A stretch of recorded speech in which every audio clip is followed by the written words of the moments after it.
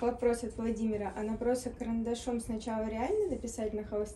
Сначала реально написать на холсте или надо сразу красками? А что здесь набрасывать? Полосу зеленого, которая по- проходит по диагонали?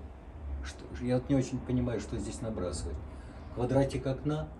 Ну, нарис, на- наберите, если уж так, если уж не в моготу. Просто когда мы э, набрали тоновое пятно первое, как бы смочили краской, холст,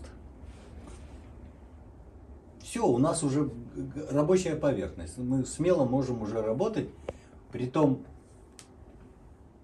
вписываясь. То есть, допустим, мы начертили будущее окно. Так же, как вы карандашиком. И, допустим, отошли в сторонку, посмотрели, а что-то оно не на месте. Все, нет окна. Карандашик вы так не сотрете.